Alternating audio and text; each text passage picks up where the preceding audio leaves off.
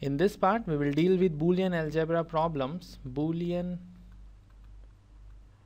algebra problems appeared in GATE 1997 and 1998 exam. Let's move to the first problem.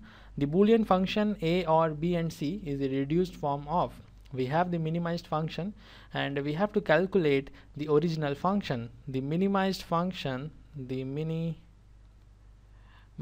function is equal to a or b and c. This is given in the problem.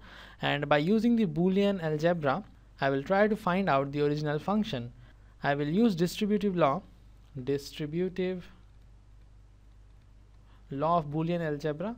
And uh, it says it says if we have x or y and z then we can write it as x or y and x or z. I will use this a or b and c can be written as a or b and a or c and if you see the four options you will find option B is the correct option. We have used distributive law to minimize this original function and the obtained result is A or B and C.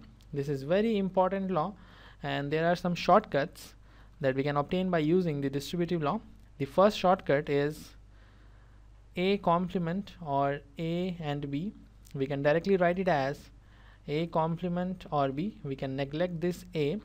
The second shortcut is the second shortcut is a or a complement and b.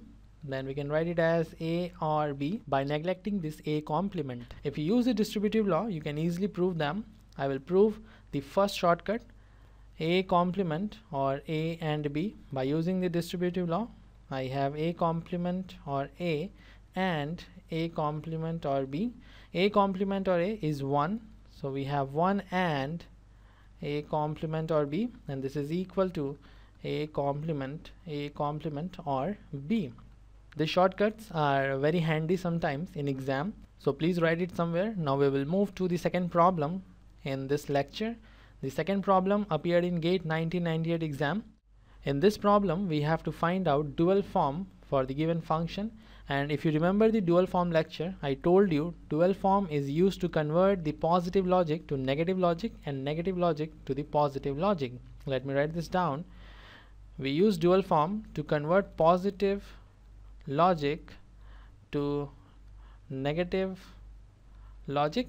And we also use dual form to convert negative logic to positive logic now what are the steps involved in calculation of dual form. The first thing that we have to do is to replace AND operator with OR operator and OR operator with AND operator. The second thing is to replace 0 with 1 and 1 with 0.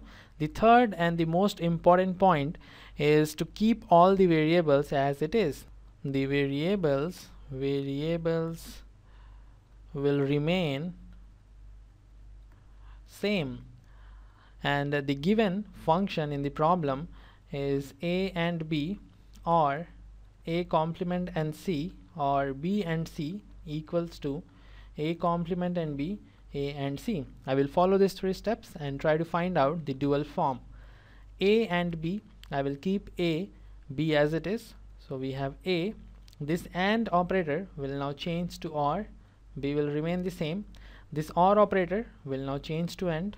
A complement or C AND operator change to OR. In the same way we have AND B or C. I will do the same thing for the right hand side A complement or B and A or C. Let's try to match the correct option. Option A is the correct option for the second problem and this is all for this lecture. In the next lecture we will deal with Boolean algebra problems appeared in GATE 1999 to GATE 2003 paper. So see you in the next one.